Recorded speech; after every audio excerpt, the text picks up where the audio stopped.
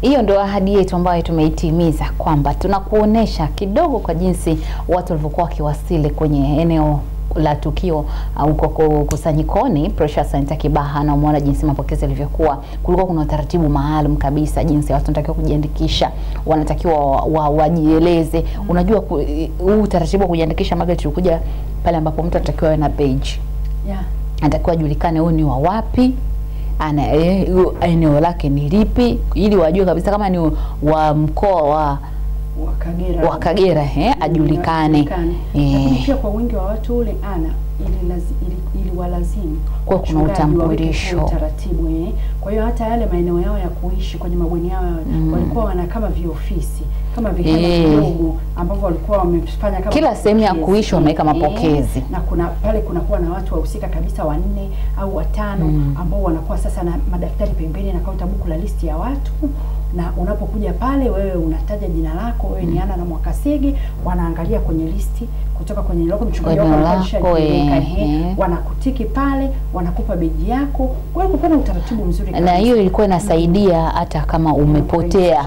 Yes ni, mm. na jinsi eneo lilivyokuwa kubwa, kuna uwezekano kabisa kwamba baada ya kwenda mkoa kama ni mgeni mkoa wako nenda mkoa mwehe, kwa mfano okay, wewe mkoa gani, wakiangalia beji hawa mkoa fulani wanakusaidia. Vitu vingi pia vya huduma za kijamii ana mm. kuna maji, kuna chakula mm. kuna vitu gani, ile arrangement lazima na zile beji zilikuwa mpaka za watoto Eh, zilikuwa mm. mpaka za watoto na ndio maana unaona sasa ndio kama hili ambalo umelisema kwamba mtoto mfano mtu ame, amepotea. Kwa watoto ndio ilikuwa inakuwa tatizo sana. Mm. Mtoto manake anakuwa yani ndio hawezi kujieleza eh, hawezi kujieleza, alafu anafananisha direction. Anafikiri mm. ameenda huku kumbe ameenda huku. Lakini na ile beji yake wakikaangalia haka nikatotoka sehemu fulani. Inakuwa rahisi. Mm -hmm. Haya, hicho ndicho ambacho tulitamani ukiona jinsi ambavyo watu walikuwa wakiwasili katika eneo la tukio Pressure Center Kibaha. Umeona jinsi ambavyo mapokezi yalivyokuwa, umeona maandalizi yalivyokuwa na watu wanajieleza, umeona mpaka jinsi ambavyo e, sehemu hizo husika walikuwa wanaandaa mpaka na vyakula vyao, wanaandaa mahema, sehemu za kulala. Hiyo yote ni katika ile siku ya kwanza walivyokuwa wakiwasili, lakini bwana, katika yote tuliokuwa tumeyafuata kule, kubwa kabisa lilikuwa ni chakula chetu cha kiroho yeah na chakula cha kiroho Magles ilikuwa ni kitu ambacho wow. Kwa kweli yaani kuanzia mtumishi mtume na nabii mm -hmm. alivyopanda wageni wake, kulikuwa kuna Masenya yeah. kutoka South Africa mm -hmm. kulikuwa kuna Kairuki kutoka Kenya, lakini kulikuwa kuna mmoja papa eh, papa Ayo eh, Joseph kutoka, cha kutoka Nigeria. Lakini pia kitu amazing ana kuhusu hao watumishi, message zao zilikuwa kama zina relate, anakuja kwenye msingi zilikuwa zina relate, lakini pia ana nikawa naangalia, yaani unajua, afu uwezi amini kwamba hichi kitu nimeki nimekuja kukigundua sijui Jumamosi. Wakati muda umeshaisha, nikawa naangalia, nikawa na, na, na, na, na, kama na, na, na, na, unafanya revision, unafanya revision ya yale masomo, unapitia masomo yale. Nikagundua tarehe nane ya mwezi wa kumi mm. Mtume na nabii kuna somo moja, kuna mstari mmoja aliusoma wa Korinto wa kwanza mbili mpaka kumi na mbili mm -hmm. Akasema, lakini huo mstari unasema hivi, lakini sisi hatukupokea uh, roho, roho ya dunia eh, bali roho atokaye kwa Mungu mm -hmm. E, alafu mm, ili kusudi tupate kuyajua tuliokirimiwa na Mungu mm -hmm. Alipokuwa anaielezea ile, alikuwa anamwandaa mtu ambaye yuko kusanyiko kwamba yani wewe unacho kile kisikia message mm. unayoisikia kutoka kwa mtumishi yoyote mm. ukiichukua kwamba hii ni ya kwangu kwako. inakuwa kwako halisi. Kwa nini? Roho uliyepewa wewe sio wa dunia. Yule roho wa Mungu sasa anaenda kukudavulia, saa nyingine umelala, mm. ndio anaanza anaanza kukuelezea anaongea na wewe katika hiki ambacho Kariuki amesema mm. ina maana ulichokirimiwa na Mungu wewe ni 1 2 3 kwa hiyo wewe na wewe hapo ndo unang'ang'ana kwamba Mungu kumbe ile ni la kwangu, na aliweka base nzuri sana. Yaani nilikuja kujua yeah. baadaye hata hata lile somo la kuhusiana na swala zima la la la kuomba la, la kuomba toba mm. ama ukitaka kupokea lazima uwe umeachiria umemsamehe mtu mm. ule ile ile base ambayo ameiweka aliweka mtume na nabii siku ya kwanza mm, mm, mm, mm. Kama ulikuwa umeanza nayo vizuri mm. basi uende lazima utoboe. Ni lazima uende vizuri. Mm. ndio hiyo anasema mambo ya ya spiritual mambo ya roho. Hey. ya roho tu. Haya. Alivyosimama Masenya unaona mambo yalikuwa ni mazuri. Kabisa. Ah kulikuwa kuna somo la misingi lile. Wow. Haise roho lilikuwa mambo mengi. Yani makaribu kila somo ambalo alisema tusimalize, tumwambie tunakupa kidogo Kidogo, eh. mtazamaji kati ya mengi ambayo amejili. Kwa hiyo kwa kwenye upande wa, wa mahubiri maanake lazima na yenyewe upate kidogo.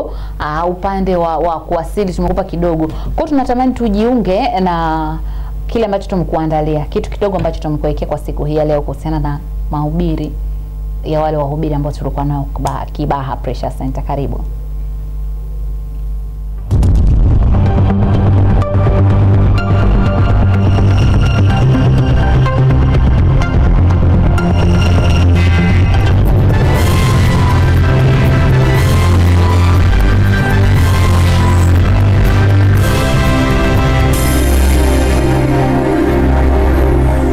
Many a times we think when we have a dream, it will go for a long time before it is realized. na wakati mwingine tunadhani kwamba ndoto inaweza ikachukua muda mrefu kabla haijatokea And we keep waiting for a day na huwa tunakaa tunasubiri siku baada ya siku when our dream will be realized.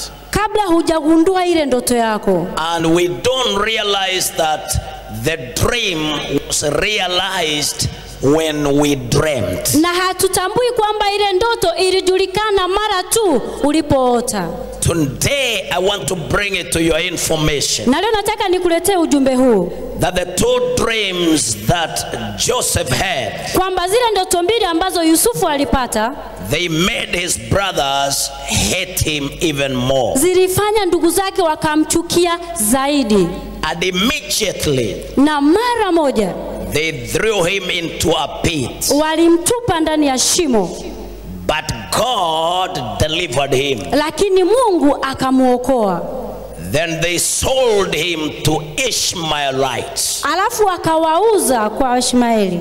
And the Ishmaelites went and sold him to Potiphar, nao wakaenda wakamuuza kwa Potiphar.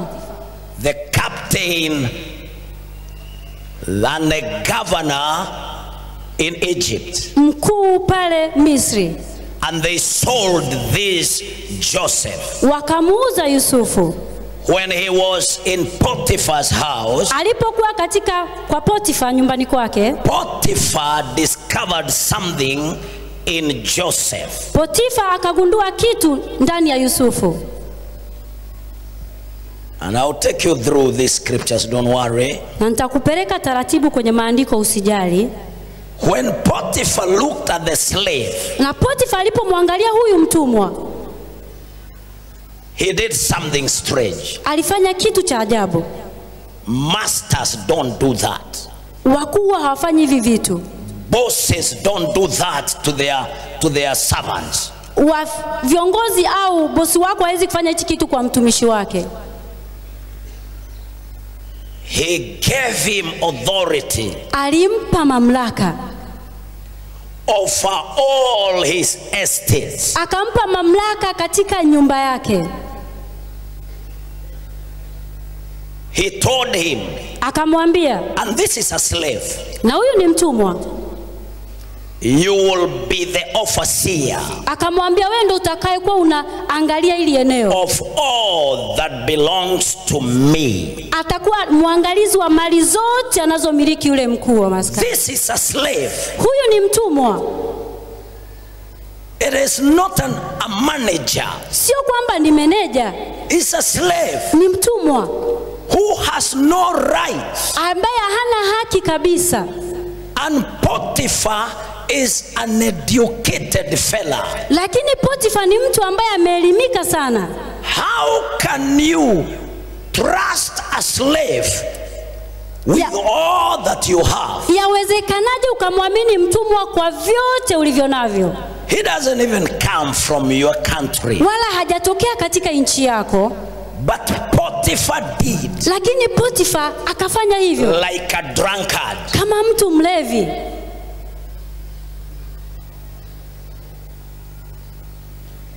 I want to tell you something. Nataka nikuambie kitu, The leadership and greatness that Joseph dreamt about. Ule uongozi na ule ukuu ambao Yusufu aliota did not come to be realized when his brothers came to him in Egypt, haukugundulika wakati ndugu zake walipomwendea kule Misri, that is not when the greatness was born. sio wakati ule ambao ule ukuu ulizaliwa, But the greatness of Joseph, lakini ule ukuu wa Yusufu, the leadership of Joseph, ule uongozi wa Yusufu was born ulizaliwa when they threw him into the pit. walipomtupa ndani ya shimo.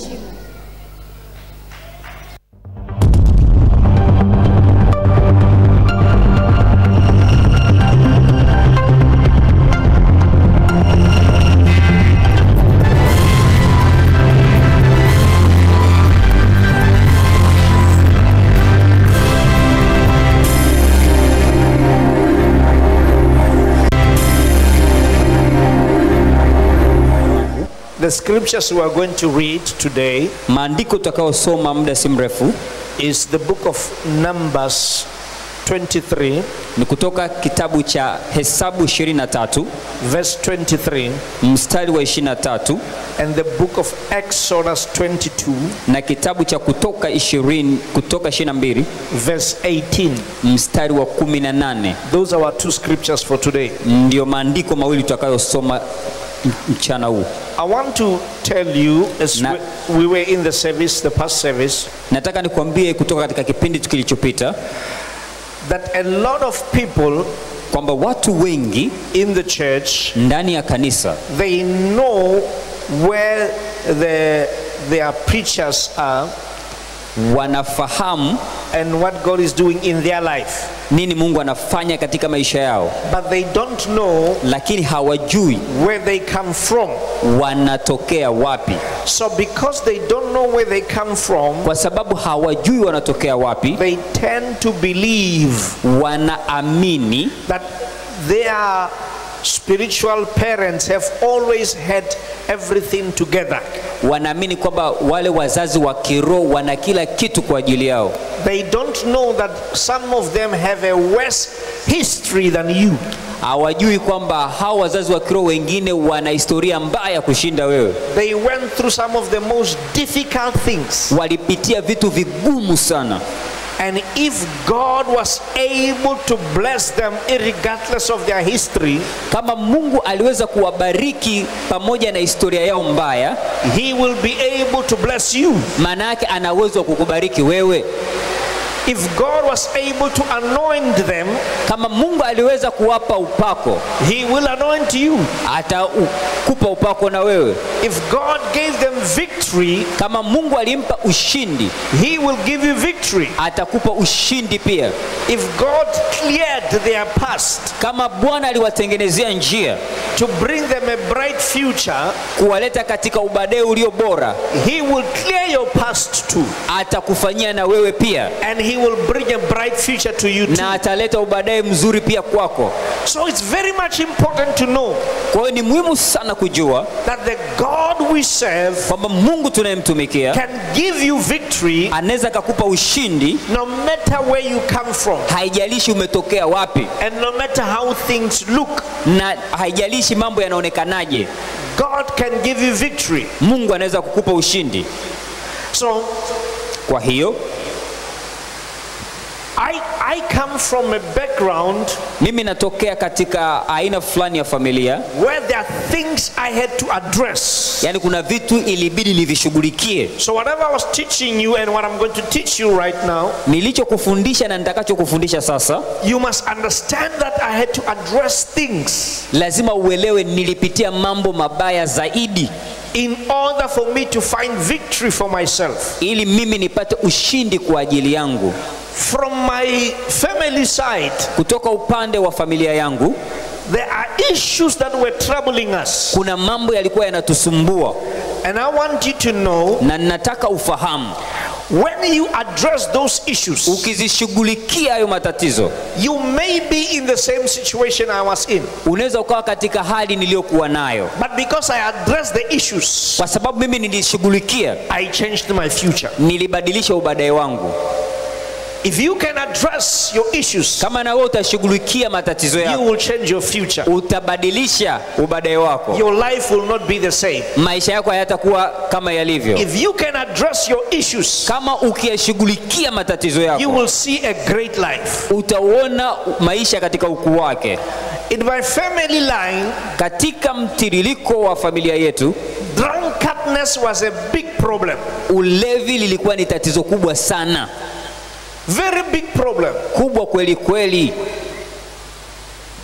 Some of you may be facing the same thing in your family. wengi wenu naweza kukuta mnapitia hilo hilo katika familia yenu It was a big problem ilikuwa ni tatizo kubwa and it cost most of them never to succeed. na iliwasababisha wengi wetu wasifanikiwe And because of drunkenness, na kwa sababu ya ule ulevi they became poor wakawa maskini because of drunkenness. Kwa sababu ya ulevi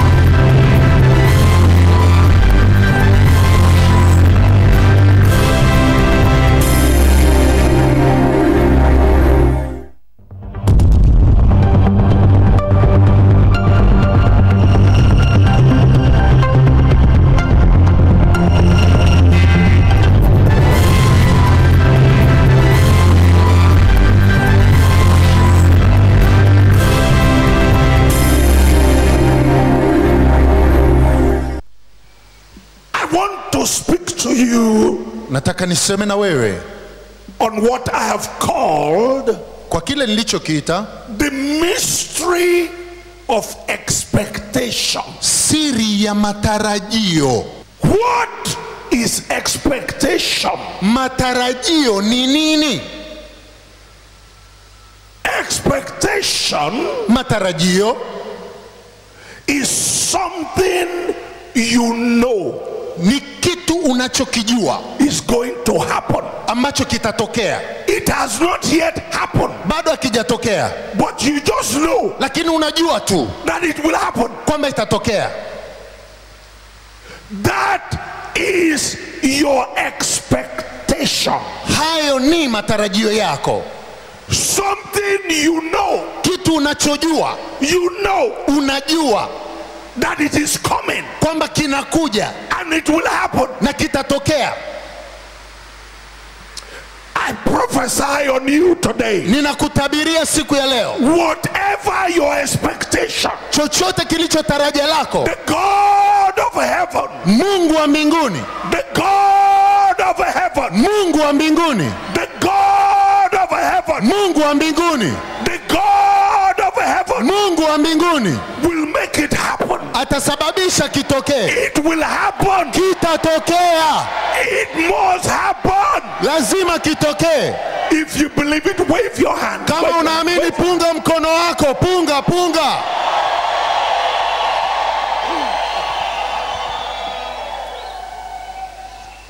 Sit down, sit. kaa chini God wants control your expectation, mungu anataka asimamie matarajio yako but lakini the devil also wants to control your expectation. ibilisi pia anataka asimamie hayo matarajio yako Why? kwa nini Why? kwa nini Because ni kwa sababu your expectation matarajio yako is the womb, is the womb ni tumbo la uzazi that carries your manifestation. linalobeba udhihirisho wako Without expectation, pasipo matarajio there will be no manifestation. hakuna udhihirisho Manifestation udhihirisho is a result ni matokeo of your expectation. ya matarajio yako If you expect it, ukitarajia you can have it. unaweza ukakipata I said, if you expect it, nasema ukitarajia you can have it. unaweza kuipata I said if you expect it, nasema ukitarajia you can have it. unaweza ukakipata You can have it. unaweza ukakipata You can have it. unaweza ukakipata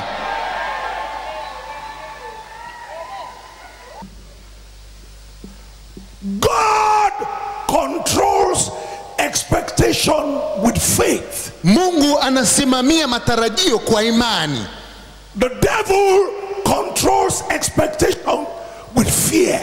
na ibilisi anasimamia matarajio kwa hofu Fear makes you expect the worst.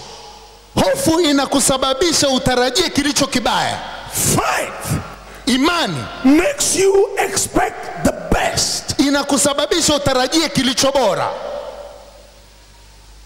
In Job chapter 3, katika ayubu tatu verse 25, mstari ule wa 25 Job said, ayubu akasema The thing that I greatly feared jambo ambalo nina hofu nalo has come upon me. limekuja juu yangu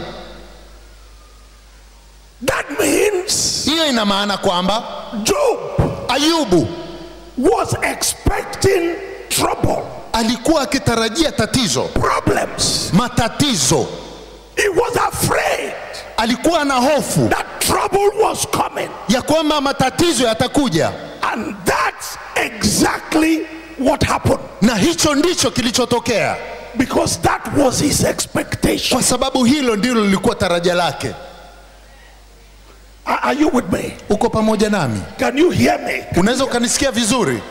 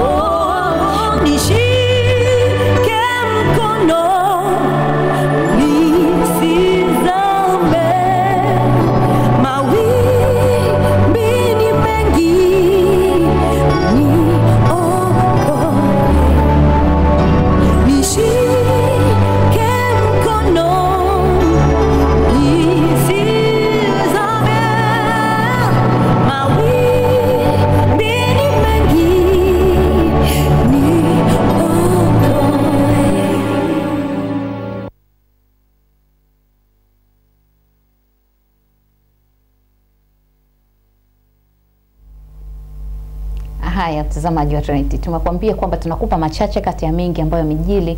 Hivyo ndivyo ambavyo tulikula na kunywa kiroho. Mm. Wahubiri hao ndo ambao walihusika. Hao ni wahubiri wageni ambao walikuwepo kwenye kusanyiko kwa mwaka huu, walikuwa watatu kutoka na, kutoka Kenya, kutoka Nigeria na kutoka South Africa. Ehe. Na umeona kila mmoja alikuwa akifundisha somo lake, kila mmoja alikuwa akigusa sehemu, yaani unaona kakugusa, akigusa hapo unaona kakugusa wewe. Hivi anaweza ni dakika tano tu ambazo mtazamaji amepewa. Imagine sisi tulio kama saa ya siku zile siku zile, alafu kwa kuna mifano ndani yake, Mm. Ulikuwa kuna na maombi. Kwa hiyo mambo mambo ni mengi la muda. pia ana usisahau kwamba mtazamaji asijisikie mnyonge sana, aliyeko Dar es Salaam afike bookshop zaidi. Aha, hicho ni, kweli. Hata ambaye yuko mkoani Mm, anaweza katutafuta kwa nambari za simu ambazo zi, ehe, Yes. ukitutafuta unatuma message, unatuma hela yako, alafu unasema uko wapi, basi unapata kile unachokitaka. flash ya masomo yote. Mhm. Haya, kinachofuata sasa hivi tunasikiliza wale waumini ambao walikuwa kwenye kusanyiko. Kila mtu alikuwa na kitu cha kuelezea. Mungu ameongea ame, ame, ame kwa namna gani, kapokea kitu gani, alikuwa anatamani kama siku zisiishe. Kila mtu na jinsi ambavyo shauku yake ilivyokuwa. Kwa hiyo tutawasikiliza na wenyewe anatuambiaje. Margaret, kama ungepata nafasi ya kuhojiwa ungesemaje? Mimi kama kawaida, ana wewe ndio ulikuwa kwanza kunihoji, nikakwambia ana mimi kila ninapokuwa eneo hili na hizi connection yangu iko wazi Anga linakuwa wazi. anga linakuwa wazi sana. Kwa hiyo yani mimi niliipenda ile tu kwanza, yani ile hali ya uwepo wa Mungu iliyokuwepo, yani ile hali ya kuabudu Na this time hali yao ilikuwa nzuri. hali ya hewa ilikuwa Ilikuwa rafiki. rafiki kabisa ya. Mm. Kulikuwa kuna hali ya joto na nini, lakini ile hali ya kuomba na nini Na yenyewe, connection. Haya, twende tukawaangalie waumini ambao walikuja kwenye kusanyiko na wenyewe wanasemaje. Bwana Yesu asifiwe. Amina. Nazungumza na mchungaji, tutambulishe kwa majina yako na unatokea wapi? Jina langu naitwa Mtume Tumpe Raban, natokea kituo cha Mwenge, naishi eneo la Bunju na ni mlezi wa kanda ya kusini, mkoa wa Mtwara,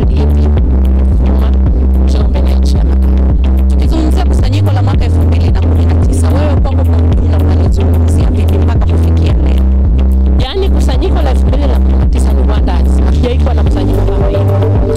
Ni kusanyiko ambalo limeleta matumaini, limeamsha, linaleta mashangilio, yaani uchovu fulani umekwisha kuondoka.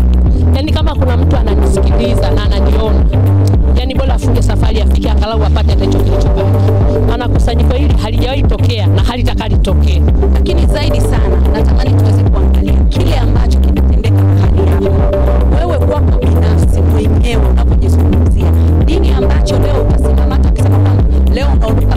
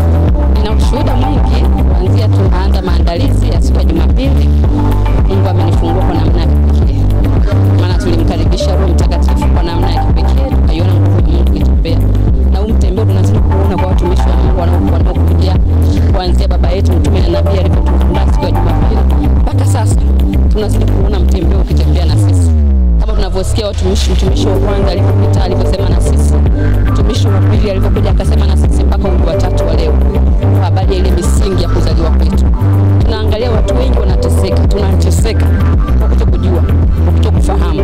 Ndio maana tunaambiwa watoto wangu wanaangamia kwa kukosa maarifa. Wengi tunaweza tukajua kwamba tunateseka kwa mambo fulani, lakini kuna misingi ambao wazazi wetu walitulea, walituzaa katika hili. Kuna maneno ambayo itamkwa wakati tunazaliwa, hatujui vitovu vyetu vilienda wapi, lakini leo kupitia masomo haya tunafunuliwa, ipo misingi. Tunaanza kwenye biashara. Kuna msingi unafanya. Wengine tunafanya biashara, lakini labda ulikopa pesa ya mtu kulipa kwa kuongea uongo, kumbe ile ile hali inakupelekea kuteseka. Umezaliwa mama yako kile kitovu, hatujui alisemelea nini, wazazi walisema nini, kumbe kuna misingi ambayo inatutesa, kuna chanzo ambacho ni sababu ya mateso yetu. Kupitia hili kusanyiko watu wanafunguliwa, tunafunguliwa vifungo vyetu kupitia neno la Mungu. Maji, umeona kwa mfano maji, tulikuwa hatujui mafunuo ya maji. Baba ametufunulia kwa maji yalivyo, nataka tutoka kwenye giza yakatupia kwenye nuru. Lakini tulikuwa tunatumia maji kuoga, kunywa, lakini hatukuelewa. Ila sasa tumefunguliwa, macho yameona, macho ya mioyo yetu yanasema Biblia inatua nuru. Kwa hiyo macho ya mioyo yetu yanatua nuru na tunapata kutembea katika hiyo nuru, anasema neno langu ni taa, na kupitia neno tumeona jana watu wanafunguliwa, kupitia maji tukaona watu wanawekwa huru. Kwa mimi namshukuru Mungu Kwa kweli naona wewe kwako kikombe kimefurika. kimefurika, nazidi kung'arishwa. Naomba niishie hapo, watu, wa watu wa Mwanza wajipange kufaidi. Amina. Amina, amina.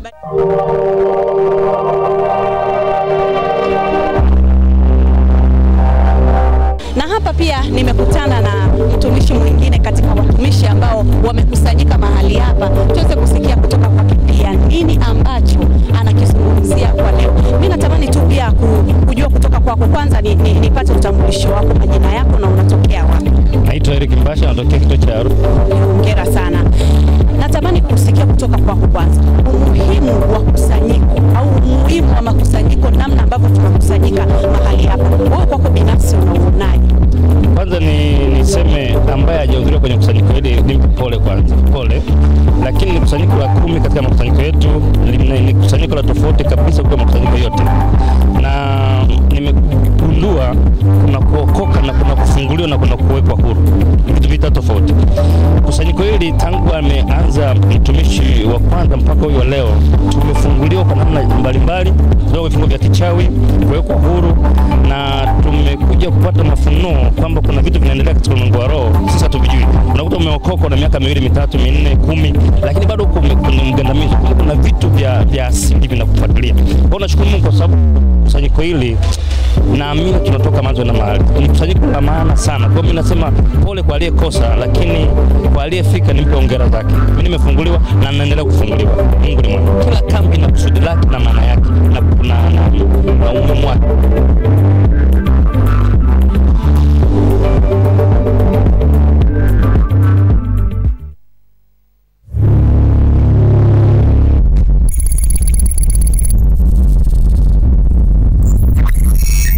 Baba, Bwana Yesu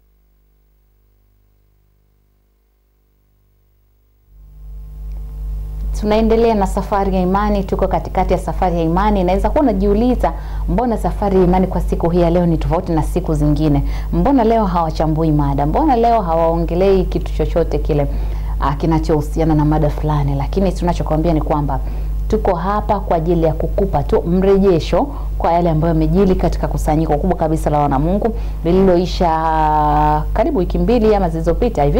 Uh, ilikuwa ni tarehe kumi na tatu siku ya mwisho ya kusanyiko hilo.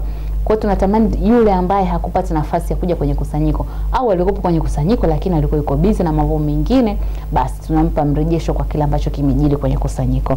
Margaret Munoto alikuwa akijielezea jinsi ambavyo kusanyiko lilivyokuwa Yeah. lakini tuna tumeshawaonyesha hicho, nabidi tuendelee mbele, tunaonyesha kitu kingine sasa. Yeah. Kulikuwa kuna ufunguzi hospitali hiyo hospitali ya mashangilio imetokana na kile kitendo cha watu kwenda kule kusanyiko, maanake kusanyiko wanaenda watu wa aina tofauti tofauti. Ehe, kuna watu wanakuwa hawajiwezi, kwa napofika kule inabidi ahitaji matibabu, huduma za kitabibu. Lakini mbali na maombi ehe, mbali na maombi inabidi lakini ahudumiwe na kitu kingine. Haya, wanakuja watu ambao wamefungua, wanataka kujifungua, kwa inabidi washughulikiwe.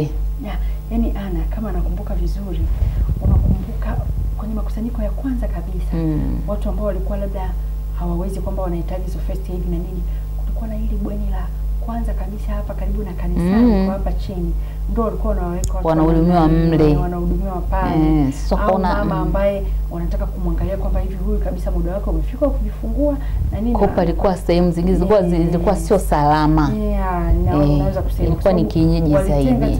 lakini haikuwa special zaidi. Eh, lakini mm. kwa sasa tunamshukuru kwa sababu amekuwa bam bam. Unaona jinsi ambavyo hospitali imekuwa ya kisasa, majengo mazuri, I vi- see, ni jambo la vipimo, yani mambo yalikuwa ni mazuri kwa kweli, ndio ufunguzi ukabidi ufanyike rasmi, na kama ambavyo Mtume na Nabii aliagiza kwamba safari hii kwenye kusanyiko hili ndio ufunguzi rasmi wa hiyo hospitali. Haya, twende tukajione ilivyokuwa kwenye kusanyiko siku ya ufunguzi wa hospitali ya Mashingilio.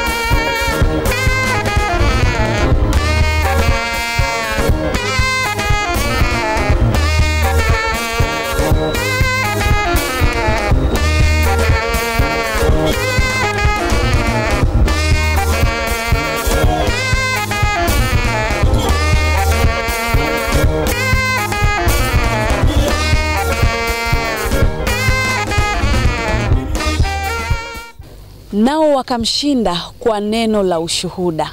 Aliye naye mwana anao ushuhuda. Na hapa nilipo kwa siku ya leo ni eneo ambapo hospitali ya Mashangilio ambayo ipo chini ya huduma ya Efata, na hospitali hii inajulikana kama Mashangilio. Ni katika maono ya mtumishi wa Mungu mtume na nabii Josephat Elias Mwingira. Alipata maono haya ya kuweza kufungua hospitali hii, kuiandaa na kuijenga na kukamilisha kwa ajili ya kuwahudumia watu na jamii nzima kwa ujumla ambao wanapatikana maeneo haya ya Kibaha. Lakini mbali na hapo, hospitali hii imetokana na makusanyiko haya ambayo yanafanyika katika huduma ya Efata. Watu walipokuwa wakija walikuwa wanajifungua, wajawazito wanajifungua, lilijengwa jengo, lakini baada ya hapo ndipo wazo lilipatikana kutokea hapo kwa wale wajawazito walipokuwa wanajifungua. Lakini kwa siku hii ya leo tarehe nane ya mwezi wa kumi mwaka elfu mbili na kumi na tisa hospitali hii inaenda kufunguliwa na mtumishi wa Mungu mtume na nabii Josephat Elias Mwingira, na itakuwa na huduma mbalimbali mbali. Kwa sasa natamani twende kwa ajili ya kushuhudia kile ambacho kinaenda kufanyika kikiongozwa na mtumishi wa Mungu mtume na nabii Josephat Elias Mwingira. Naitwa Lea Mbaga. Kwa sasa tuelekee katika tukio maalum kabisa la kufungua hospitali hii ya Mashangilio. Baba wa mbinguni na duniani unaitwa, tunalitukuza jina lako mchana wa leo. Asante kwa ajili ya neema yako ya ajabu na upendeleo wako kwetu. Asante kwa ajili ya nafasi hii ee Bwana, tuko mbele zako mahali hapa kwa ajili ya tukio hili kubwa kabisa katika historia ya Efata kufungua hospitali yetu ya Mashangilio. Baba wa mbinguni, tunakualika mahali hapa. Karibu Bwana wetu Yesu Kristo, wewe uliyetupenda. Karibu Roho Mtakatifu, uwe katika mahali hapa. Karibu, tunawakaribisha. Yote anaenda kufanyika mahali hapa yakawe kwa utukufu wa jina lako Mungu Baba, Mwana na Roho Mtakatifu. Ni katika jina la Yesu Kristo mwana wa Mungu aliye hai, na wote tuseme amen.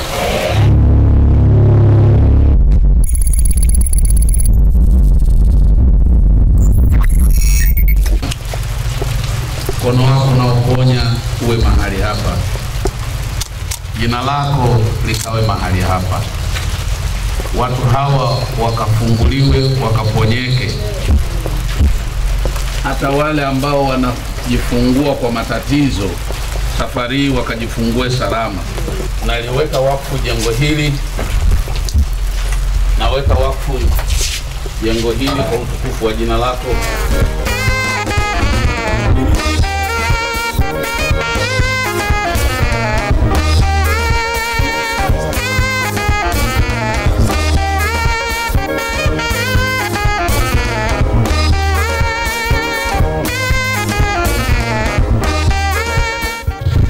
Sisi tunatibu na Mungu wetu anaponya.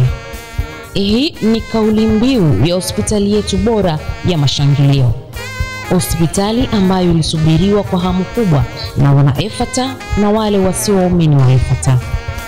Ubora wa majengo, maabara za kisasa kwa ajili ya vipimo, vyumba vya matabibu vyenye usiri kati ya mgonjwa na daktari ndio sifa bora zaidi vifaa maalum vya kisasa vya kutunzia watoto wachanga mara tu wazaliwapo kwa ajili ya usalama wao. Tunamshukuru Mungu kwa ajili ya wauguzi wetu walio tayari kukuhudumia katika hali zote pindi uwapo hospitalini hapo, iwe ni kimwili, kitabibu, hata kiroho pia.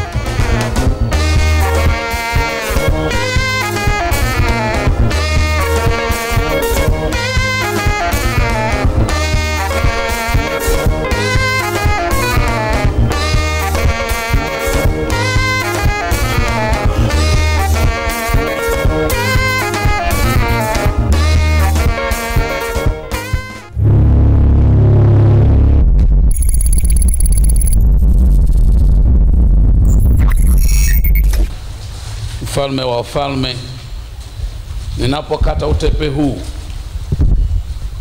na kuingia ndani, ninaruhusu wewe ukaingie ndani ya jengo hili na utukufu wako ukakae ndani ya jengo hili, maajabu yako yakakae ndani ya jengo hili, kwa kuwa wewe ni Bwana na Mwokozi wa ulimwengu wote, ukathibitisha ya kuwa wewe ni asili ya uponyaji na wewe ndiye Mungu uponyaye.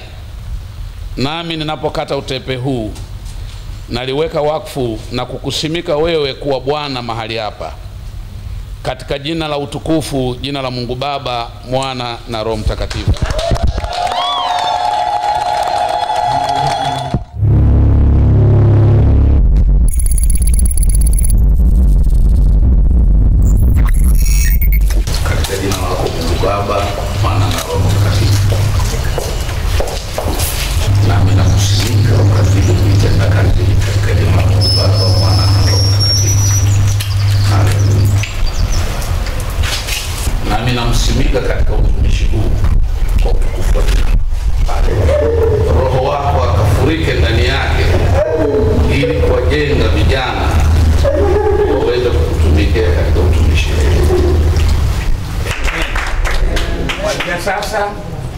Hospitali imefunguliwa rasmi.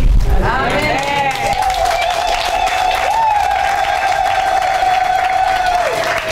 Hili eneo ni kwa ajili ya wanaita productive area, kwa lugha nyingine tunasema ni eneo la wazazi, eneo la uzazi, yaani mwanaume na mwanamke. Kwa hiyo wote wanakuja hapo, wana watakuwa wanaifika hapa, wanakaa, wanashauriwa. Kama mkeo ni mjamzito, anashauriwa hapa, na akifika anaenda hapa, anapima hii mashine ya kupima, kishamaliza wanaingia kwa daktari hapo, sawa. lakini hapa pia patakuwa ni eneo la ushauri, wanaita ushauri na saa. Tuko pamoja, eh? ni ushauri na saa hapa. Kwa hiyo wakishamaliza ushauri na saa, wanaweza wakaingia kwenye vyumba hivyo hapo, wanakutana na madaktari wengine.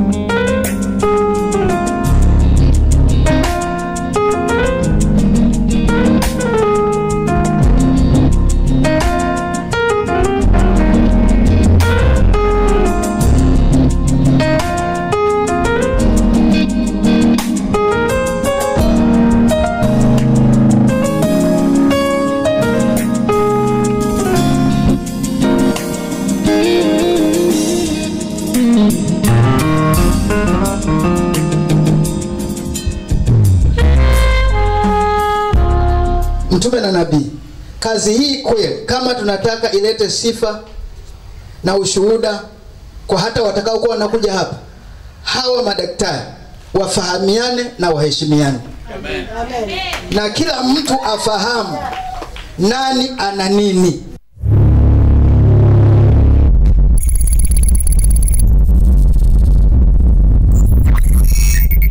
Tumejipanga vizuri, tuna huduma zote ambazo mtu anahitaji, kasoro chache sana. Kwa hiyo kuna idara ya wagonjwa wa nje maana au OPDs wanakuja anatibiwa wanaondoka, na tuna madaktari wa kutosha kuwaona katika kila hiyo idara. Tuna idara ya pharmacy, maanake duka la dawa au huduma ya dawa, lakini pia tuna idara ya wagonjwa wa kulazwa IPD, inpatient.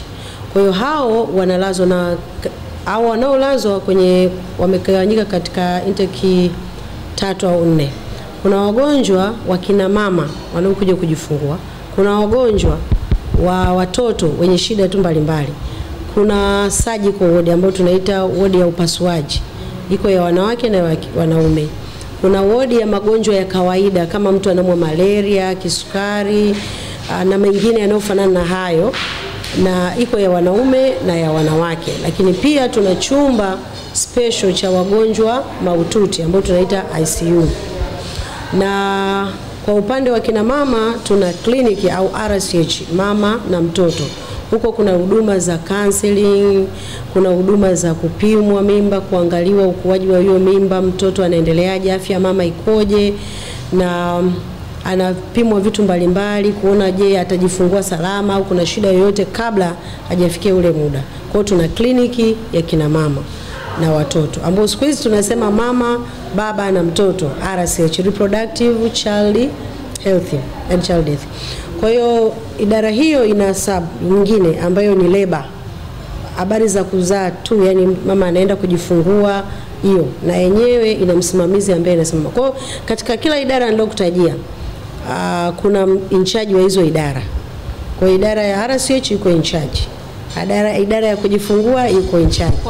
Kiukweli niseme kwamba um, sio tu kwa ajili ya hospitali, ni katika huduma nzima kama kwa ujumla wake, kwa sababu hospitali ni kitengo kimojawapo cha vitengo ambavyo viko ndani ya huduma. Kwa hiyo vile ambavyo niliona Mungu ameanza na sisi katika huduma yenyewe, yani ministry kwa, kama ministry kama ilivyo, tulianza katika mazingira ya, ya, ya, ya, ya unyonge sana, katika mazingira duni sana ambayo usingeweza kwamba kujua kwamba kuna mtu kingetokea, lakini siku hata siku niliona kila kimoja kikienda kimoja baada ya kingine. Kwa hata ilipofika wakati wa kwamba kutakuwa na hospitali, na kumbuka kwamba kilichosababisha hospitali ikawepo sio kwamba tulipanga tu kwamba tutakuwa na hospitali, lakini ni kutokana na watu ambao walijitokeza. Tulipokuwa pale Mwenge, tulikuwa tunahudumia watu ambao ndani ya ibada unakuta mtu anatokea ni mjamzito, unamwombea, wakati huo unasikia mtu anapata uchungu. Kwa hiyo ilianzia kupelekwa kwenye matente kule nyuma ya kule pembeni mwa kanisa, kama wameweka tenti. Kwa hiyo ilipofika pale sasa, ule ndio ulileta msukumo wa kuanzisha hospitali. Kwa hiyo sio kwamba tulikaa tukachimba kama tutakuwa na hospitali, lakini ile kazi ilipokuwa inaendelea ndio ilisababisha kwamba ikasababisha hospitali iwepo. Kwa kama ulivyosikia, kuna mtoto ambaye alikuwa a, a, mtoto ambaye alikuwa na miaka saba ambaye atakiwa awepo hapa, lakini hajakuwepo. Yule mtoto Miracle alikuwa ni mmoja ambaye mamake ameombewa pale kanisani, yaani amekuja anaombewa na hudumiwa pale kama mama mjamzito, ghafla uchungu uka, uka yani mtoto akawa sasa njia imefunguka na hakuna jinsi, kabidi wampeleke yule nyuma, wamzunguka yeye. Yule azaliwa ofisini, wala hata kwenye tente, kwenye ofisi mojawapo pale ndipo yule mama alijifungulia pale. Kwa hiyo ndipo ikatuonyesha kwamba ah, kumbe kuna huduma inatakikana ifanyike hapa. Kwa hiyo baadaye ikaanzisha tente pale, wakaweka wakaweka tente pale, wakanunua kitanda kimoja kikawekwa pale, kuna mashito waka- wakaanzisha kikaweka kitanda kimoja pale. Kwa hiyo jinsi huduma ilivyokuwa inaendelea ndio iliyosababisha sasa kwamba ha na hospitali ianze. Kwa hiyo sikushangaa kwamba hospitali leo imekuwepo, ni ile kazi ilivyokuwa inaendelea ndio imesababisha hospitali ikawepo. Kwa hiyo ninapoangalia nazidi kumshangaa Mungu vile anavyoendelea kuikuza huduma hatua kwa hatua kutokana na mahitaji ya jamii inayotuzunguka. Haya, kwa sasa nipo na mtumishi wa Mungu ambaye ni mgeni wa mtumishi wa Mungu mtume na nabii josephati Elias Mwingira Charles Kariuke kutoka Nairobi, Kenya. Tuko naye hapa Kibaha Precious Center katika kusanyiko hili la wana wa Mungu, lakini pia katika ufunguzi wa hospitali hii ya Mashangilio. Pia yupo na mke wake, wameongozana hapa pia. Tunatamani kusikia kutoka kwake kuhusiana na kile ambacho kimefanyika katika huduma hii ya Efata katika ufunguzi huu wa hospitali hii ya Mashangilio. Nini hasa maoni yake kwa ukaribu aliokuwa nao yeye pamoja na mtumishi wa Mungu mtume na nabii Josephat Elias Mwingira. Karibu tusikie maoni kutoka kwako. Asante sana. Kwanza nashukuru Mungu sana, maana kile ambacho tumeshuhudia leo ni hatua ya kuelekea kwenye ukamilifu wa Injili. Maana Injili hii tunaohubiri hapa katika Efata sio Injili tu ile ya mambo tu ya rohoni, lakini Injili kamili ni kulenga roho ya mwanadamu na pia kuchangia katika afya mwanadamu na pia katika hali ya uchumi. Sasa hapa inaelekea kwenye afya ya mwili wa mwanadamu, inahitaji idara hii ya matibabu, health sector, na injili iliyo kamili. Ndio maana uliona Yesu alikuwa nao wafuasi, wanafunzi, miongoni mwao kulikuwa na watu wa benki, kulikuwako na madaktari kama Luke, kwa sababu injili kamili ni lazima imguze mwanadamu rohoni na pia katika mwili. Kwa hivyo hapa tunaona ni hatua ya, ya juu katika Efata, maana sasa tumeanza kumhudumia mwanadamu sio rohoni peke yake, lakini pia katika afya yake, maana afya ya taifa inategemea afya ya wananchi, afya ya jamii inategemea afya ya wana wanajamii. Naweza kusema kwamba tendo hili ni kuu mno machoni pa Mungu na pa dunia pia. Una unawaambia nini ulimwengu kwa hiki ambacho kwa leo kimefanyika hapa katika huduma ya Efata kupitia hospitali hii ya Mashangilio? Ah, nawaambia kwamba tumshukuru Mungu, maana haya ni matendo ya Mungu. Ya pili ni kwamba kituo hiki kimefunguliwa kwa sababu ya afya ya watu wote.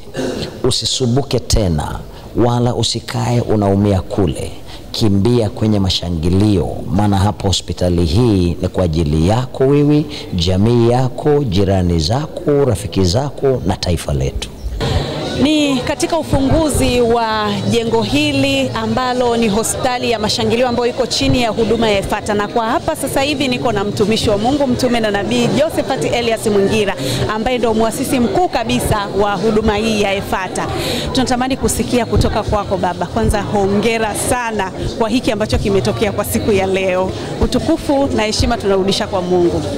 Katika hiki kilichotokea, tunasema hii ni hospitali lakini pia na nje huko tuna hostali kubwa kama ambayo hii umeifungua hapa leo, lakini sasa tunatamani ku, ku, kuona kusikia kutoka kwako utofauti wa hospitali hii ya Mashangilio ambayo iko chini ya huduma ya Efata na hospitali zingine, utofauti wake ni nini? Uh, tofauti yenyewe hii ni ya Efata na ile ni ya wengine. Hiyo tofauti ya kwanza. Tofauti ya pili, hii inaongozwa na Bwana Yesu, ili inaongozwa na watu waliopo. Tofauti ya tatu, hii na roho wa Mungu huko ndani, huko ina madawa peke yake, huku kuna ma, Yesu pia yuko ndani anafanya miujiza, sio tu dawa. Dawa watape, watapewa dawa, lakini kama na pepo hatutaliacha. E, yani ukija na jini hatuliachi. Au madaktari wanajua kufukuza pepo, wanajua kufukuza ulozi. Kama umelogwa wataupigiza kwanza, alafu unatibiwa. Ndio uzuri wa hii hospitali. Cha kingine ni kwamba ni hospitali ambayo unatibiwa huku na bembelezo uende mbinguni. Leo rasmi hospitali hii imefunguliwa na inaanza kazi leo, Ndio. lakini Imeshaanza kule, kuna watu wanatibiwa eh. Amina, lakini tunahitaji kusikia pia kutoka kwako maono makubwa zaidi ya hivi tulivyoanza. Nini hasa watu watarajie kutoka katika hii hospitali ya Mashangilio? Kwanza hatutibi ili ufe, tunakutibu ili uishi ukahubiri Injili, yani ukaitumikie jamii iliyoko. Hiyo lazima, yani tunapokutibu lengo letu ni wewe uishi ukamshukuru Mungu aliyekuponya, lakini pia ukawashuhudia na wengine uzuri wa Mungu tuliye naye huku Efata. Ila tuna mipango mikubwa zaidi ya hii iliyoko, maana kila mahali una mahali pa kuanzia, hata katoto kana mahali kanaanzia. Haka ni katoto kachanga, lakini subiri utakapomwona anaanza kukimbia. Elekeza habari za Mungu. Kama una kiu ya kwenda mbinguni, njoo, tutakuelekeza na tutakutibu pia. Karibu mpendwa.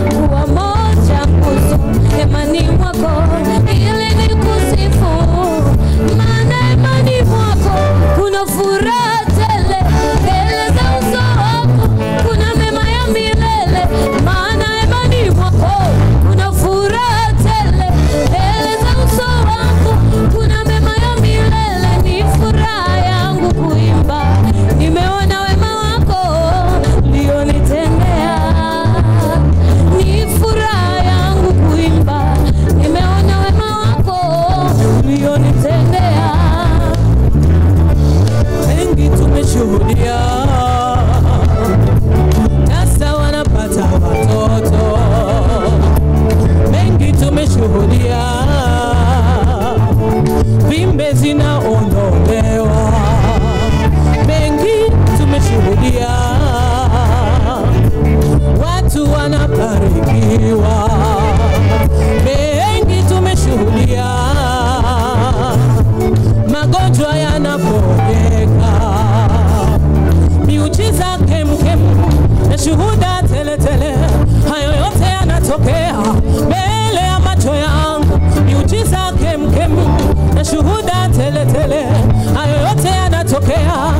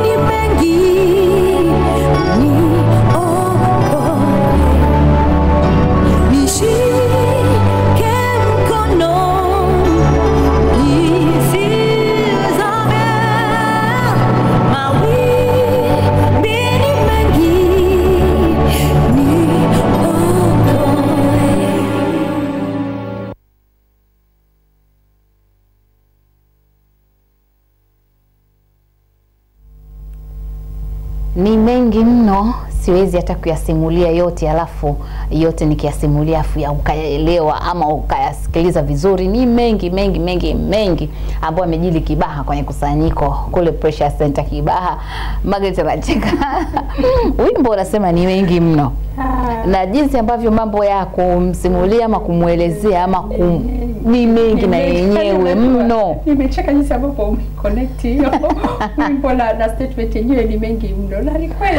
Mambo mengi. Mwimbaji wa nyimbo anasema ni mengi mno, yani niliyoyaona mimi ambayo Mungu umefanya mbele ya macho yangu. Niliyoyaona niliyosimuliwa. Simuliwa ni mengi. Eh, manake kiukweli Yosefati aliyonishuhudia ni mengi. Kwa hiyo Mungu ni- sasa yani- na yaliyojiri kibaha ni mengi. ko siwezi kumsimulia yote mtazamaji. Basi kama ndio hivyo siwezi kukusimulia yote yaliyojiri basi nikurudishe tena huko huko Precious Nda kibaha. Safari hii sikwambii kitu kinafuata ila tuturudi tena kibaha kwa sababu ni mengi mno karibu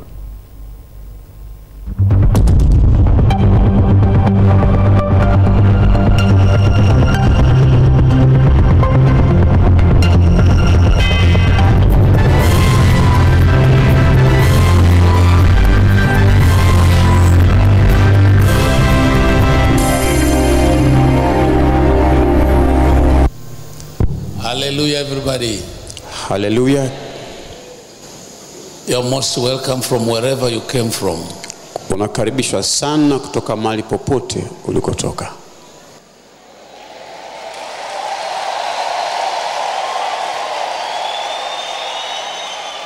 I was so eager to see you here Nilikuwa na shauku kubwa sana kuona wewe mahali hapa. You know why? Unajua kwa nini? You are so precious to me. Kwa sababu wewe ni wa thamani sana kwangu. I cannot stand here Siwezi kusimama hapa if you are not here. kama hauko hapa. I stand here because you are here. Nasimama hapa kwa sababu wewe uko hapa.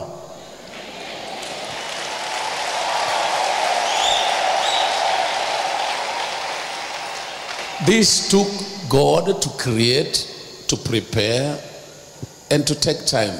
Ilimgharimu Mungu kuumba, kuandaa na kutumia muda.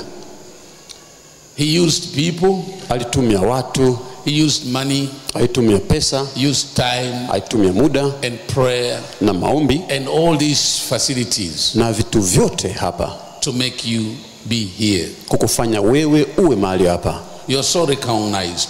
Wewe unathaminiwa. So greet your neighbor, hivyo msalimie jirani yako. Welcome him. Mkaribishe. Or her. Mkaribishe. Tell him i love you. Mwambie nakupenda. Thank you so much. Asante sana. Let us in tanzania draw people to jesus. Acha tanzania tuwavute watu kuwaleta kwa yesu watu wote waliojiazimia moyoni kuwepo katika kusanyiko hili our people who have intent to be to this gathering hawatakuwa wa kawaida. They will never be normal they will be extraordinary. Maelezo baada ya habari. Uchunguzi wa intelijensia ya mbinguni wamefuatilia maisha yako tangu ulipokuwa tumboni mwa mama yako the intelligence has gone through. Wamefuatilia upelelezi ukafanyika They were brought up. kwa utaratibu wote na haya ndio waliogundua. And this is what they've discovered. Uchawi ulifanyika kabla hujazaliwa. The witchcraft was done before you were born. Uliteseka sana kiasi kwamba ni kwa neema tupo so mpaka leo. Just by grace you are sasa mbingu imeamua. But today the heaven has decided and whatever it takes baada ya wiki hii kuisha After this week, kukuloga hataweza whoever tena. lies up to bewitch you he will not be able to bewitch you again. Na ya kwamba uchawi na uganga na ulozi witches and uliokutesa kwa miaka mingi hauna which have been nguvu juu for a yako. long time they are powerless over you. Kwa sababu hiyo for this reason baada ya mbingu kupata habari za intelijensia of the heaven got haya the ndiyo maamuzi yaliyotolewa these were decisions they've made. Mwaka huu na mwezi huu na this wiki year hii. and this month and haya this mambo week yatatokea kwako. this will happen unto you.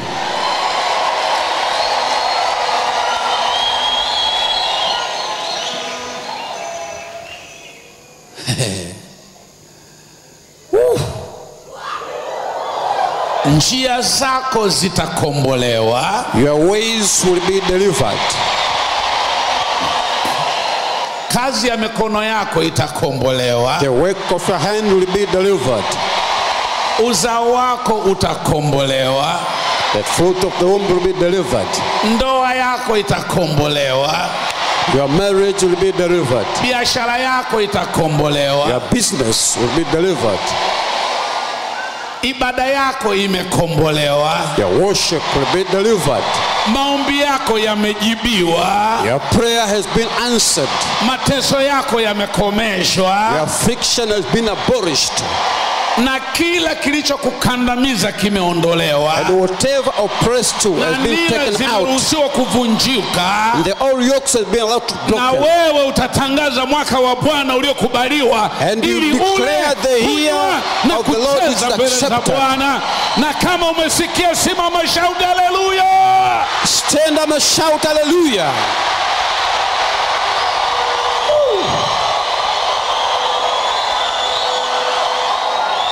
taarifa hii ya habari haijafungwa bali imewekwa kwenye parandesi tayari kwa kufunguliwa. Kitasa baada ya kitasa. Lock after lock.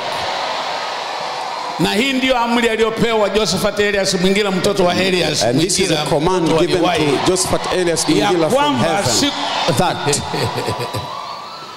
Kuanzia jumatano from Wednesday usiku night haitaruhusiwa tv yetu kuonekana mahali popote maana kuna vitu vitaenda kufanywa huko havitaeleweka ni nini kinaendelea. We will be off air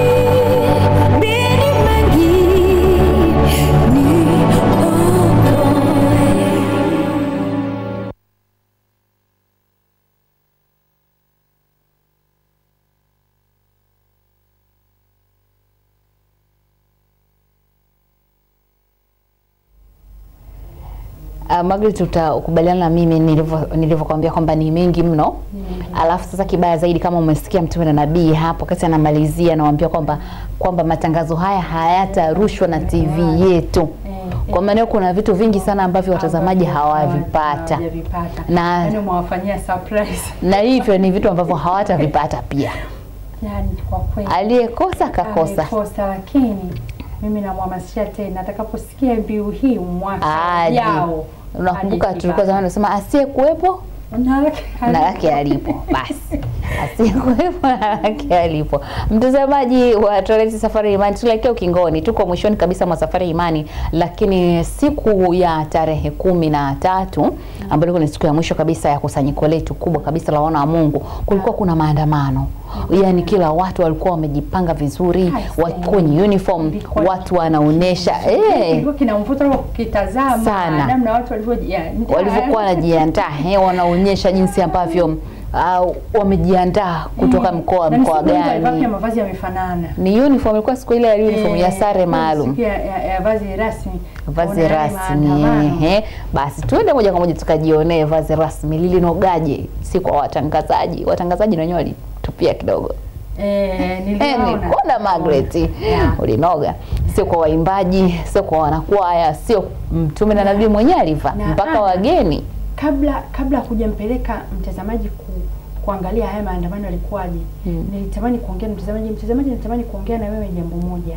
Ukiwa unamsikiliza kidogo mtumishi wa Mungu mtume na nabii amemuongelea kidogo yule mtu ambaye amesema pengine umelogwa toka ukiwa mtoto umefanyiwa uchawi ambao umefika mahali huelewi sikiliza nikwambie yani hayo mambo yamekoma kwako. Kitu kinacho kinaporuhusiwa kufika kwa masikio ni kwako kichukue kiwe cha kwako. Unaweza ukawa ulikuwa unaiangalia safari ya imani toka imeanza mpaka hapa ambapo tunaelekea ukingoni lakini kwa hili neno moja ukilichukua likawa la kwako linakuwa halisi kwako katika ulimwengu wa damu na nyama. Yani chukua hilo moja halafu kamdai mungu. Sema na mungu kwa habari ya mambo hayo. Mambo yote yanakuwa sawa. Amina. Haya, turejee kwenye kusanyiko siku husika jinsi ilivyokuwa.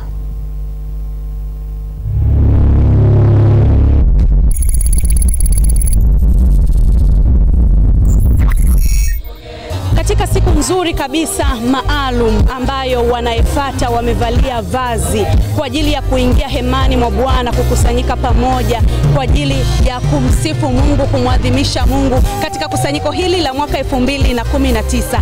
Lakini na katibu wa EFATA Mbeya, natamani niweze kusikia furaha yao ikoje na namna jinsi walivyojiandaa.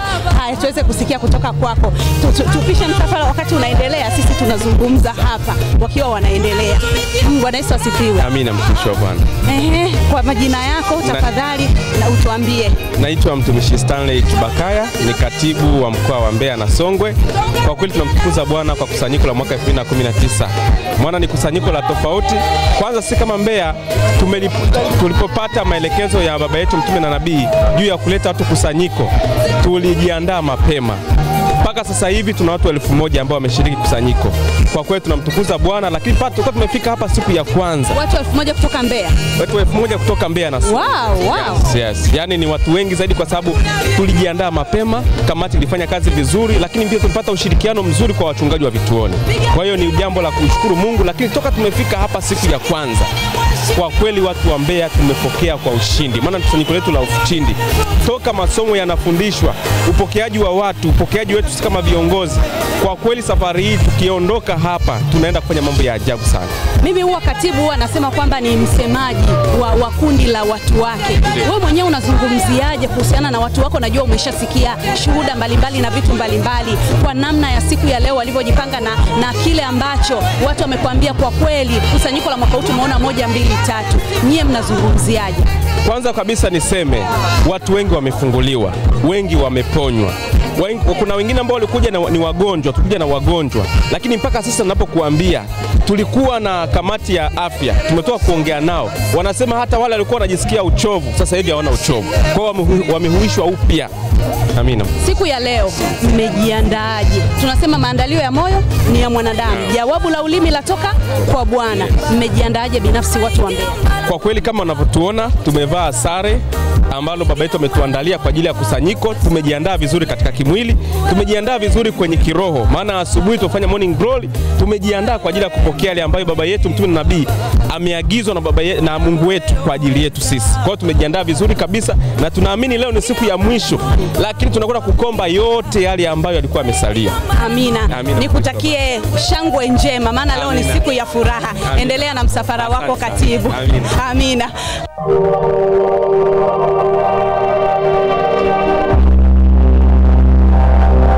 Watu tayari wamekwisha kujiandaa, wamevalia vazi wakiwa na furaha sana katika kile ambacho Mungu anaenda kukitenda kwa siku ya leo. Wamejiandaa, wewe mwenyewe unaona, lakini natamani niweze kuzungumza na mmoja wapo atuambie shauku amba, ambayo walionayo kwa siku ya leo. Amekuwa kweli leo leo mambo ni moto, Mambo ni moto. Hebu tusimame hapa tuongee wakati msafara unaendelea. Mhm. Majina yako tafadhali, na hili eneo nimeona ni kutoka wapi Sayuni? Hili ni eneo kutoka Sayuni. Majina yako Mimi jina langu ni Eliki Ngajilo. Sayuni, ambao mnamaanisha kwamba ni maeneo gani, maeneo gani, maeneo gani kwa Dar es Salaam? Sayuni tunamaanisha watu wote tunaotoka eneo la Temeke tunaosali Mwenge ndio Sayuni. Okay. Eh, kwa kweli leo lazima kieleweke pale. Shetani namwonea huruma sana. Niambie maandalio yako wewe mwenye binafsi leo yakoje? Kwa kweli nina amani kwa sababu Bwana amenitendea. Nilikuja kama naota ndoto, lakini ukweli kama vile neno linavyosema, yani nilikuwa kama muota ndoto, ndivyo ilivyo leo, kwa sababu sikutegemea kama kuna siku moja nitaikwa mtumishi. Ndio maana kila siku nawaambiaga watu nilitoka ndani ya chupa ya bia ndani ya pakiti za sigara. Kwa neema ya Bwana leo naweza nikasema Yesu ni Bwana. Amen. Matarajio yako leo ni nini? Matarajio yangu leo ni kupokea kile ambacho Mungu ameniandalia madhabahuni pake. Ninakwenda kula na kunywa, ndio maana nina furaha, kwa sababu furaha yangu ni maandalio ya moyo wangu. Kwenda kule, moyo wangu huko wazi, na mtamani huyo bosi alionitoa kwenye chupa za, za, za bia na paki za sigara aendelee kunitembea. Amina. Basi Mungu akafanye zaidi kwako. Amen. Endelea kushangilia.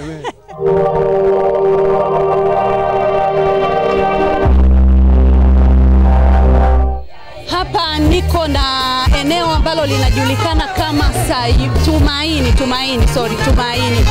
Katika huduma EFATA tuna maeneo mbalimbali yamepewa majina kutokana na namna ile ya kuwaweka watu karibu kwa ajili ya kupata huduma nzuri ya kiroho na kimwili pia. Lakini pia natamani niweze kuzungumza na mmoja kati ya, ya, ya huu msafara ili niweze, niweze kujua namna gani ambayo wamejiandaa wao binafsi.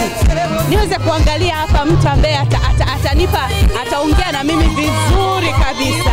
Ehe. Hiki kigelegele ndo nakitaka. Bwana Yesu asifiwe. Amina wapendwa. Hongera sana. Asante sana. Naona furaha, furaha. Kabisa kabisa, maana leo ni siku ambayo ni ya ajabu kwetu. Unaitwa nani? Naitwa Furaha Alfredi Mwakebula.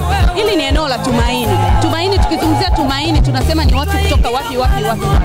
Hapa ni kutoka Mlalakua kuja Lugalo, Makongo juu na Kawe A kule Ukwamani na Kawe B huku kwa baba Kawe Beach ndo Kawe A kwa mtumishi wa Mungu eh, ndo Kawe A kule kule, kule beach.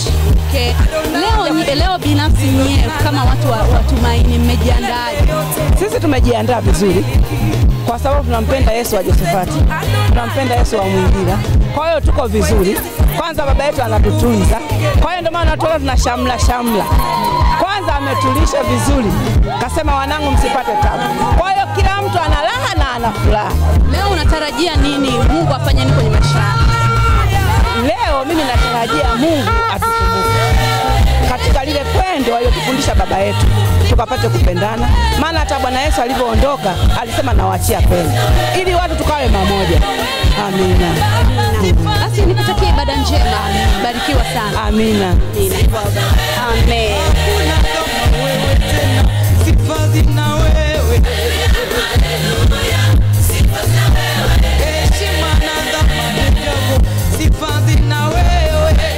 Mimi naitwa mchungaji Ibrahimu Mlai wa kituo cha Mwendakasi Kibaha. Namshukuru Mungu sana kwa ajili ya kusanyiko hili ambalo ni kusanyiko la kumi la Efata. Ni kusanyiko la ajabu na la pekee ambalo tumeona Mungu akitenda miujiza na maajabu. Watu wanaponywa, wanafunguliwa, wanakombolewa kwa jinsi isiyokuwa ya, ya kawaida kabisa.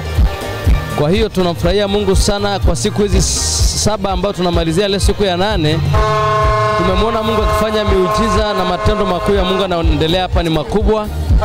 Kwa hiyo ninawashauri watu wote ambao wananiangalia sasa hivi, usijaribu kukosa kusanyiko kama hili, maana unakutana na Mungu live, kusanyiko ambalo Mungu anakutana na watu wake na kuponya na kufungua na kuwaweka huru. Zaidi ya yote, pia tunapokea baraka kutoka kwa Mungu. Kwa hiyo ushauri wangu mimi kama mchungaji na kushauri wewe ambao unanitazama sasa hivi kwamba jitahidi kusanyiko la mwaka kesho usikose, usikose kabisa, kwa sababu Mungu ana makusudi na watu wake.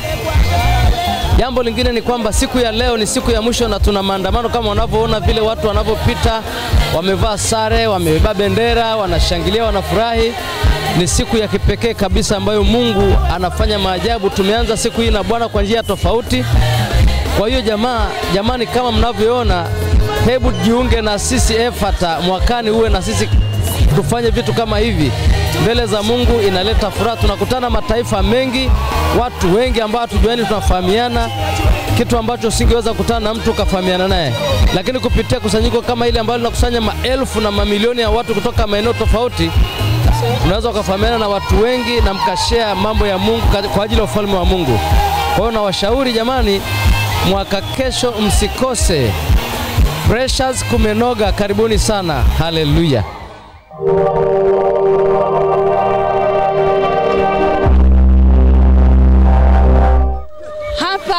Nimefika kwenye msafara wa watu kutoka Kigoma. Kigoma, yes, sijakosea. Kama unavyoona mambo ya kinyumbani yanaendelea hapa, wakiwa wana shauku kabisa ya kwenda kupokea kile ambacho kwa siku ya leo kimeandaliwa kwenye maisha yao. Lakini natamani niweze kuzungumza na mmoja wapo hapa ili aweze kuniambia kwa jinsi wao walivyojiandaa. Nimpate, nimpate nani hapa? Nimpate mama hapa, maana maana naona ndio anakipiga vizuri kabisa. Geuka vizuri mama, tuongee. Bwana Yesu asifiwe. Amina, amina. Hongera. Amina, nashukuru sana. Nazo unaitwa nani? Mimi naitwa Neema Gasto. Eneo la Kigoma hili. Eneo la Kigoma. Hongereni sana. Beni. Pastor Ben Benson. Ndio. Namtukuza Bwana kuwepo. Ni kwa neema sana. Nasikia mashangilio, nasikia furaha. Na waona wenyewe kinyumbani kinachezwa hapa. Nasikia mashangilio na furaha, maana kuingia mahali hapa ni neema. Tunatumia gharama kubwa, inatugharimu, maana sisi tuko magharibi kule, lakini kwa neema ya Mungu tuligumbukia hapa, tuna mashangilio. Pia tunampenda baba yetu Beni, anatuongoza, anatufundisha, anatuonya. Karibu na kuonya, anatuonya.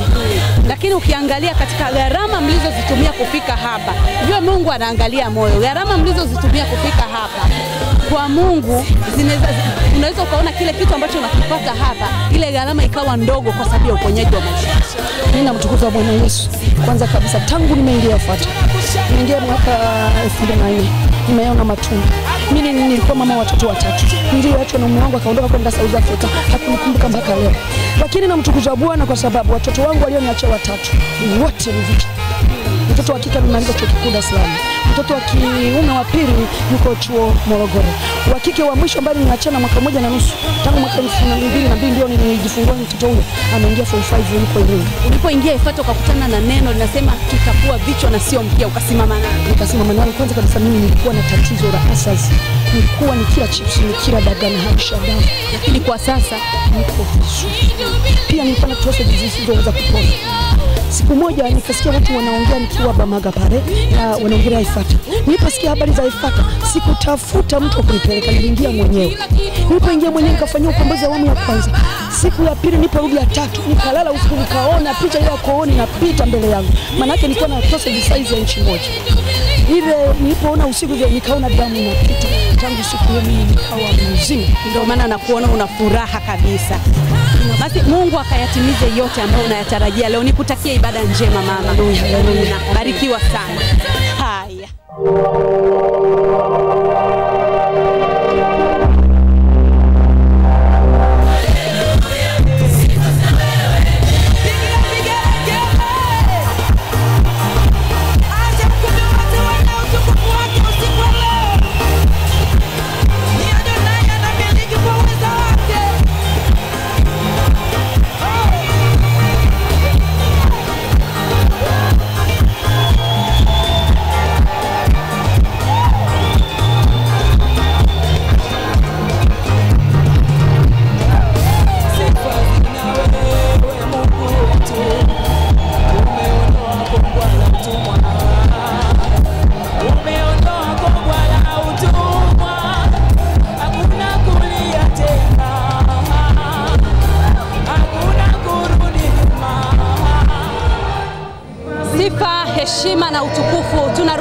Kwake Mungu ambaye ameturidhia siku ya leo kuwepo mahali hapa.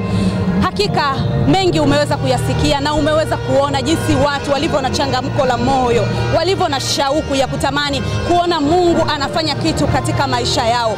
Wao binafsi wanamtamani Mungu leo akajidhihirishe katika maisha yao, lakini kwa sasa tayari kabisa ukumbi umesharindima, ukumbi umekwisha jaa, watu wote wamekwisha kuwasili hapa ukumbini kwa ajili sasa ya kusikiliza sauti moja tu ya Mungu anasema nini katika maisha yao.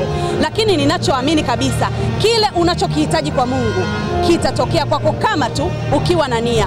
Naamini kabisa Mungu anaenda kukutana na maisha ya watu hawa kwa siku ya leo. Ndivyo ambavyo tumekamilisha maandamano haya ya siku ya leo, na tayari tunajiandaa kwa ibada ya siku ya leo, kusanyiko 2019 Kibaha Pressure Center. Naitwa Lea Mbaga.